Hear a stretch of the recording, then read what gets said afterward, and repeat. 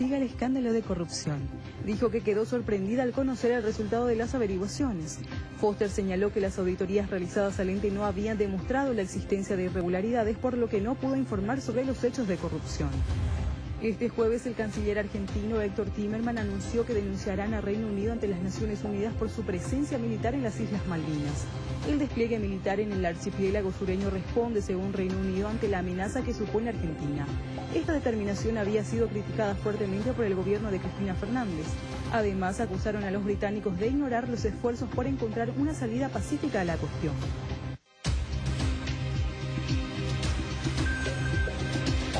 Señora, por favor, a la gente después de las 8 actualizamos los datos del tiempo y un último repaso al pronóstico hasta las 11. Exactamente, subió un grado la temperatura en Asunción y sus alrededores, la humedad, eh, la temperatura en este momento es de 22 grados, la humedad del 96%, el cielo está cubierto, fíjense cómo se presenta el panorama, no se ve el sol, eh, hay tráfico también. En la ciudad, el porcentaje de humedad 96 la visibilidad está reducida por llovizna a 4 kilómetros, a 9 kilómetros la visibilidad y la velocidad del viento es de 4 kilómetros por hora. Soplan vientos del oeste sur-oeste. 22 grados tenemos de temperatura a estas horas en Asunción, que va a pasar en todo el territorio nacional. El pronóstico dice que vamos a tener un día con cielo mayormente nublado, vientos del sureste, precipitaciones dispersas y ocasionales tormentas eléctricas. Las máximas estimadas para la región oriental, 25 grados en Pilar, 24 en No pasamos los 30. No, ni alcanzamos siquiera, ni alcanzamos. Estamos observando que eh, habrá lluvias y tormentas eléctricas en toda la zona sur, también en el este, 26 la máxima estimada para Ciudad del Este, 27 para Salto del Guairá, también en el norte están pronosticando precipitaciones y tormentas, 25 la máxima en Pedro Juan, 26 en Concepción. En Asunción y todo el departamento central eh, se va a mantener la inestabilidad climática con 26 de máxima, lluvias y tormentas eléctricas. Y atención al pronóstico para los próximos días, para el fin de semana, sábado, vamos a continuar con precipitaciones dispersas para mañana sábado, cielo mayormente nublado y temperaturas cálidas, dice María 18 la mínima, 29 la máxima.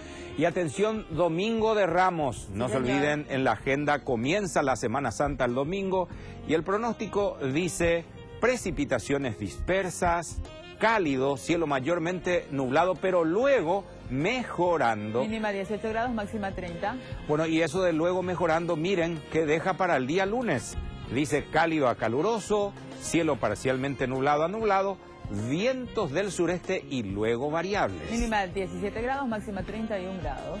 Bueno, tenemos más noticias. Ayer nos llamó la atención, estaba en internet, en los portales, los diarios digitales, un, dos edificios en realidad en Nueva York, en el noreste de los Estados Unidos, se derrumbaron llamativamente en la tarde del jueves, dice, tras una fuerte explosión ocasionada presuntamente por una tubería de gas, dejando un saldo de 19 personas heridas, cuatro de ellas de gravedad, María Teresa. A pesar de que más de 200 bomberos atendieron el incendio, el fuego se propagó con rapidez hasta expandirse por los edificios cercanos, ubicados entre la calle East Village y la segunda avenida de Manhattan. Las autoridades cerraron los accesos a la zona como forma de prevención ante el colapso de las edificaciones en llamas. Bueno, y en el ámbito judicial recordemos y destacábamos lo siguiente. Ayer el juez de Curuguatú, el señor Carlos Martínez, llegó hasta el edificio del Palacio de Justicia en Asunción y cumplió con un trámite muy esperado. Estamos hablando de la presentación del pedido de exhorto de extradición de Vilmar Neneco Acosta, ex intendente de Ipejún. El documento, con 294 fojas, fue presentado en la ventanilla de la Dirección de Asuntos Internacionales de la Corte para dar inicio al proceso de extradición del ex intendente de Ipejún, preso en Brasil. Nosotros eh, juntamos todos los elementos que demuestran que el mismo es paraguayo y que en todo momento se condujo como tal, eh, como el certificado de nacimiento, el acta de nacimiento, la, la contestación de una demanda eh, de impugnación planteada en su momento por el candidato a Julián Núñez, hoy extinto, también la querella privada en donde él justamente le querella al al señor Pablo Medina. El documento comprende todas las resoluciones judiciales dictadas por el juzgado, los requerimientos fiscales, órdenes de detenciones, de rebeldía y pedidos a la Interpol para la captura de Acosta. También citamos las normas jurídicas aplicables, tanto empezando por el acuerdo de extradición del Mercosur firmado en Río de Janeiro en 1998 y lógicamente todas las disposiciones nacionales aplicables al caso en este. Este mismo jueves, el documento fue remitido a la Cancillería paraguaya para su envío al Supremo Tribunal del Brasil, que estudiará si extradita a Neneco Acosta para ser juzgado en nuestro país.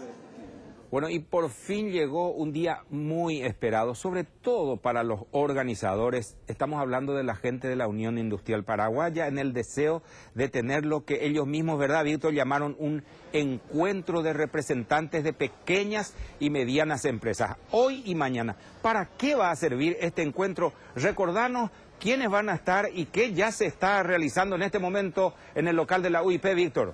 Bueno, y en este momento, Oscar, acá en el local de la UIP ya comienza a movilizarse todo esto que va a congregar a centenares, por lo menos en las previas, ahora se habla de centenares eh, de pequeñas y medianas empresas que van a venir a intercambiar probablemente, fundamentalmente negocios.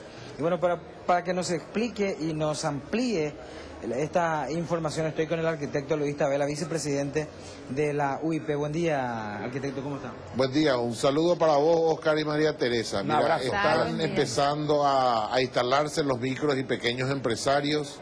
Todos los del departamento central ya están instalados, los que no están, creo que van a llegar un poquito más tarde, van a ser los de Filadelfia, los lugares más, más lejanos, Alto Paraná pero yo creo que para la hora de la, de la apertura, que va a ser a las 9 de la mañana, oficialmente esto ya va a tener el brillo necesario.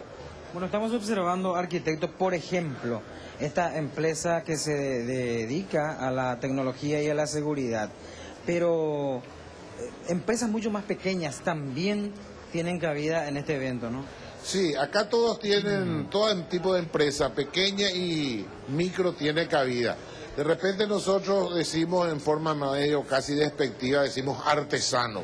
El artesano es una microempresa, tiene cuatro personas, cinco personas que están trabajando para ello y en este evento tienen cabida. Eh, a las nueve y media arrancan las charlas y los talleres que se va a ir durante todo el día, entre hoy y mañana, y a las seis de la tarde tenemos la rueda de negocio, la primera y la segunda estaría mañana, ¿verdad? Así que creemos, calculamos más o menos cerca de 4.000 personas es lo que podemos llegar a juntar en estos dos días.